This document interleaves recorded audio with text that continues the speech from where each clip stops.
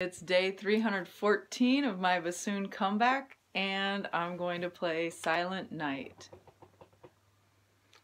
Uh,